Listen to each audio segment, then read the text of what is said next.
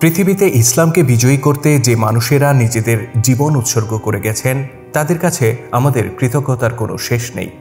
কেননা, তাদের আত্মত্যাগের বিনিময়ে দিক দিগন্তে ছড়িয়ে পড়ে আল্লাহর সত্যদিন তাদের এই কোরবানির বদৌলতেই আরব থেকে হাজার হাজার মাইল দূরে অবস্থিত এই বাংলাদেশের মতো অসংখ্য জনপদে পৌঁছে যায় ইসলামের আলো। ফলশ্রুতিতে, আজ আমরা মুসলিম। বর্তমান বিশ্বে মুসলিম জনসংখ্যা একশো নব্বই কোটির মতো।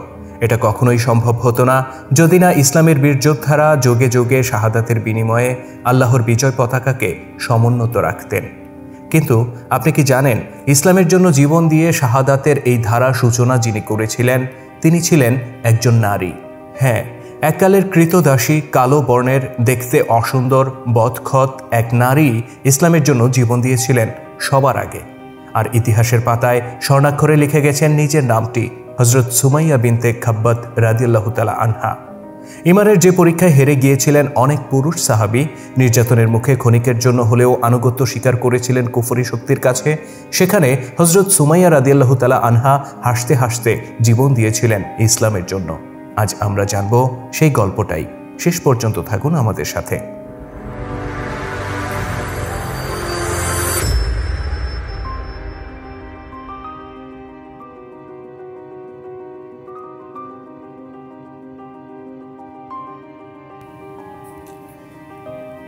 বিয়ের আগে সুমাইয়া রাদিয়াল্লাহ তালা আনহা ছিলেন বনু মকজুম গোত্রের একজন কৃতদাসী। তার স্বামীর নাম ছিল ইয়াসির। তাদের যখন বিয়ে হয়, তখন সুমাইয়াকে দাসত্ব থেকে মুক্ত করে দেন তার মনিব। তথাপি কৃতজ্ঞতা হিসেবে বনি মখজুম গোত্রের সেবায় নিজেকে নিয়োজিত রাখেন সুমাইয়া। আম্মার নামে তার এক পুত্র ছিল। হজরত মোহাম্মদ সাল্লাহ আলাইসাল্লাম নবুয়াত লাভের পর যখন গোপনে কলেমার দাওয়াত দিচ্ছিলেন, তখন আম্মার ছিলেন একজন পরিণত যুবক। ইসলামের বাণী তাকে মুগ্ধ করে আর তিনি রসুলের কাছে কলেমা পাঠ করে মুসলিম হয়ে যান। এটা একেবারেই শুরুর দিকের কথা। হাতে গোনা অল্প কিছু মানুষই ইসলাম ধর্ম গ্রহণ করেছেন। তবে রসুলের প্রতি ইমান আনলেও আম্মার রাদিয়াল্লাহ তালা আনহু শুরুতেই বিষয়টি নিজের বাবা মায়ের কাছে প্রকাশ করেননি। কেননা এটা জানাজানি হয়ে গেলে তার উপর যে কোনো সময় নির্যাতন নেমে আসতে পারে। কিন্তু আম্মার বিষয়টি গোপন রাখার চেষ্টা করলেও তার বাবা মা কিন্তু তাকে ঠিকই সন্দেহ করে বসেন। কেননা আম্মারের কথাবার্তা, তার আচার আচরণে তারা অনেক পরিবর্তন লক্ষ্য করেন। সে যখন তখন বাড়ি থেকে বের হয়ে যাচ্ছে, কোথায় যাচ্ছে, কার সাথে মিশছে, কিছুই বলছে না। আর সমাজে প্রচলিত নানা অনিয়মের ব্যাপারে হঠাৎ হঠাৎই সে প্রতিবাদী হয়ে উঠছে। এই বিষয়গুলো লক্ষ্য করে তারা চিন্তিত হয়ে পড়েন। তারা জানার চেষ্টা করেন, তার কি হয়েছে? এক পর্যায়ে বাবা মায়ের চাপাচাপিতে আম্মার রাদিয়াল্লাহ তালা আনহু বলে দেন, তিনি আল্লাহ ও তার নবীর উপর ইমান এনেছেন। এটা শুনে সুমাইয়া ও ইয়াসিরের মাথায় যেন আকাশ ভেঙে পড়ার মতো অবস্থা। কেননা তারা কৃতদাস পরিবার, সমাজে তারাই সবচেয়ে নিগৃহীত আর লাঞ্ছিত। এই খবর যদি কুরাইশদের কাছে যায়, তাহলে আম্মারকে হয়তো তারা মেরেই ফেলবে। তাকে এই পথ থেকে ফিরে আসার জন্য নানাভাবে বোঝানোর চেষ্টা করেন সুমাইয়া ও ইয়াসির। কিন্তু আম্মার রাদিয়াল্লাহ তালা আনহু তাদের কথা না মেনে বরং উল্টো তাদেরকে বোঝান কি কারণে তিনি ইসলাম ধর্ম গ্রহণ করেছেন। তিনি তাদের সামনে তুলে ধরেন রসুলের আদর্শ ও তার মাহাত্মের কথা। ইসলামে তাদের মতো নিগৃহীত ও নিষ্পেষিত মানুষের যে অধিকারের কথা বলা হয়েছে, তিনি সেগুলো একে একে তুলে ধরেন তাদের সামনে। মহান আল্লাহর কি ইচ্ছা?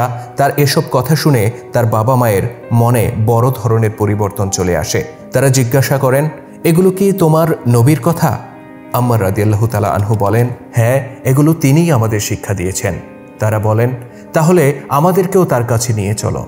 অতপর পুত্র আম্মারকে সাথে নিয়ে রসুলের কাছে গিয়ে কলেমা পাঠ করে মুসলিম হয়ে যান হজরত ইয়াসির রাদিয়াল্লাহ তালা আনহু ও সুমাইয়া রাদিয়াল্লাহ তালা আনহা। পিতামাতার ইসলাম ধর্ম গ্রহণে হজরত আম্মার রাদিয়াল্লাহ তালা আনহু সেদিন ছিলেন পৃথিবীর সবচেয়ে সুখী মানুষ। কিন্তু তিনি জানতেন না, তার এই সুখ দীর্ঘকাল স্থায়ী হবে না। আমরা আগেই বলেছি হজরত সুমাইয়া রাদিল্লাহ তালা আনহা আগে বনি মকজুম গোত্রের একজন কৃতদাসী ছিলেন। তবে বিয়ের পর তাকে দাসত্ব থেকে মুক্ত করে দেন তার মনিব আবু হুজাইফা তথাপি তাকে দাসীর মতোই ব্যবহার করত বনি মকজুম গোত্রের অনেক নেতৃস্থানীয় ব্যক্তি। বিশেষ করে আবু জাহেল ছিল এ ব্যাপারে সবচেয়ে বেশি তৎপর। প্রয়োজনে, অপ্রয়োজনে সে সুমাইয়াকে ডেকে পাঠাতো আর এটা ওটা করে দেওয়ার ফরমাইশ দিত। তার কাছে যখন এই খবর পৌঁছে যায় যে সুমাইয়া ও তার পুরো পরিবার ইসলাম ধর্ম গ্রহণ করেছে, তখন তার মাথায় যেন আগুন চড়ে বসে। কেননা এই পৃথিবী থেকে ইসলামের অস্তিত্ব মুছে দেওয়ার জন্য সে দিন রাত নানা ষড়যন্ত্র করে যাচ্ছে। অথচ তার গোত্রের সাবেক এই কৃতদাসী যাকে করুণা করে দাসত্ব থেকে মুক্তি দেওয়া হয়েছে, সে কিনা ইসলাম ধর্ম গ্রহণ করেছে? আবু জাহেল তাদেরকে কঠিন শাস্তি দেওয়ার সিদ্ধান্ত নেয়। সে লোক পাঠিয়ে ইয়াসির, সুমাইয়া আর আম্মারকে, অর্থাৎ পুরো পরিবারকে ধরে নিয়ে আসে। তাদেরকে মোহাম্মদ সাল্লাহ আলাইসাল্লাম এর প্রতি বিশ্বাস থেকে সরে আসতে বলে। কিন্তু তারা তার কথা ঘৃণার সাথে প্রত্যাখ্যান করেন। অতপর সে তাদের উপর শুরু করে নির্মম নির্যাতন। কখনো খুঁটির সাথে বেঁধে, আবার কখনো বালুর উপর শুইয়ে দিয়ে চলতে থাকে চাবুকের আঘাত।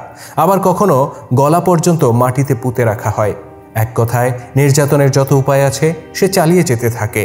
এ সময় পানির যন্ত্রণায় তারা যখন ছটফট করতেন, তখন হাসতে হাসতে আবু জাহেল বলতো, তোমাদের নবীনা তোমাদেরকে বলেছেন বেহেস্তে তোমাদের জন্য রয়েছে স্বচ্ছ পানির ধারা? কোথায় সে পানি? তোমাদের আল্লাহকে বলো বেহেস্তের কিছু পানি তোমাদেরকে পান করিয়ে দিয়ে যাক। এরকমটা বলে সে অট্ট হাসিতে ফেটে পড়ত। আর তার এই হাসিতে যোগ দিত সেখানে মজা দেখতে আসা লোকজন।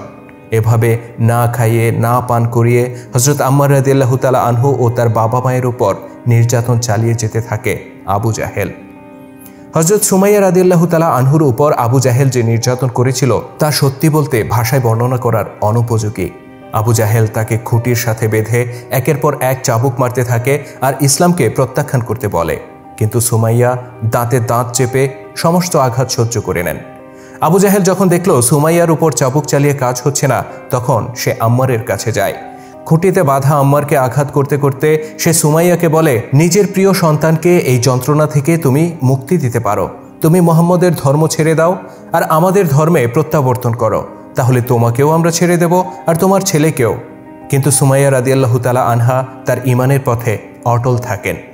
আম্মারকে মারতে মারতে প্রায় বেহুশ করে ফেলে আবু জাহেল। কিন্তু তাতেও কাজ হচ্ছে না দেখে সে ইয়াসির রাদিয়াল্লাহ তালা আনহুর কাছে যায় এবং তাকে মারতে শুরু করে। সে সুমাইয়া রাদিয়াল্লাহ তালা আনহাকে বলে, দেখো সুমাইয়া, তোমার বৃদ্ধ স্বামী কি অসহায়ের মতো মার খাচ্ছে। তুমি কি চাও না আমি তাকে ছেড়ে দেই? তুমি মোহাম্মদের ধর্ম ছেড়ে দাও আর আমিও তোমার স্বামীকে ছেড়ে দেই। কিন্তু সুমাইয়া রাদিয়াল্লাহ তালা আনহা চোখ অন্যদিকে ফিরিয়ে স্বামীর ওপর নির্যাতন সহ্য করতে থাকেন এবং আল্লাহর কাছে সাহায্য চাইতে থাকেন। এক নারীর সামনে তার স্বামী সন্তানের উপর সীমাহীন নির্যাতন করা সত্ত্বেও সে তার বিশ্বাসে অটল। এটা দেখে আবু জাহেলের অভিশপ্ত আত্মা বিকলিত হয় না, বরং সে আরও ক্ষিপ্ত হয়ে ওঠে। সে সুমাইয়ার কাছে ছুটে যায় আর অশ্লীল ভাষায় তাকে গালাগালি করতে শুরু করে। সে তাকে বলে, ও, বুঝেছি তো। তুমি চাও তোমার বৃদ্ধ স্বামী আমার হাতে মার খেতে খেতে মরেই যাক।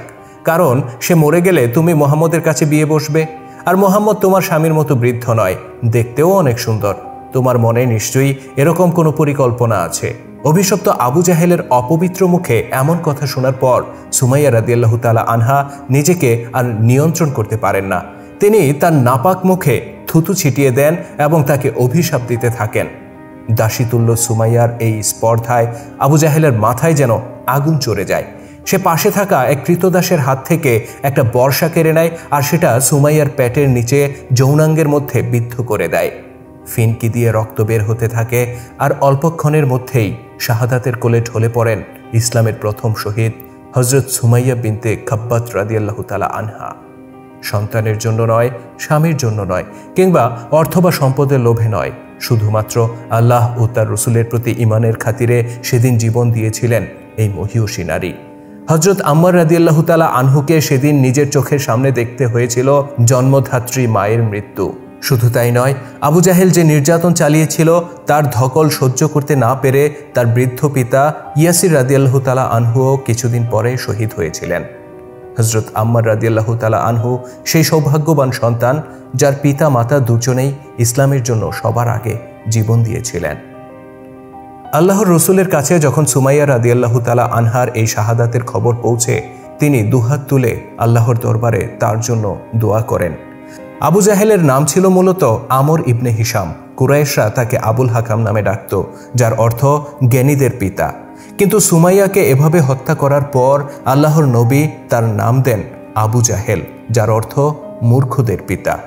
এই ঘটনার পর রসুলের সামনে কোনো সাহাবি যদি ভুল করেও এই অভিশপ্ত মানুষটির নাম আবুল হাকাম উচ্চারণ করত, রসুল বলে উঠতেন, আবু জাহেলকে যে আবুল হাকাম নামে ডাকবে, তার উচিত আল্লাহর কাছে ক্ষমা চাওয়া। হজরত সুমাইয়ার শাহাদাতের ঘটনা আল্লাহর রসুলকে এতটাই প্রভাবিত করেছিল। শুধু দর্শক হজরত সুমাইয়া রাদিল্লাহ তালা আনহা ছিলেন এমনই একজন নারী যিনি মৃত্যুর সামনে দাঁড়িয়েও কলেমার ঘোষণা থেকে সরে আসেননি। তার এই গল্পটি কেমন লাগল কমেন্ট করে জানাতে ভুলবেন না। ভিডিওটি যদি আপনার ভালো লেগে থাকে, তাহলে লাইক ও শেয়ার করে ছড়িয়ে দেওয়ার অনুরোধ রইল। গৌরবদীপ্ত ইসলামের এমন গুরুত্বপূর্ণ সব ঘটনা আমরা নিয়মিত তুলে ধরছি আমাদের ইউটিউব চ্যানেল ও ফেসবুক পেজে। সাবস্ক্রাইব ও ফলো করে থাকুন আমাদের পাশেই।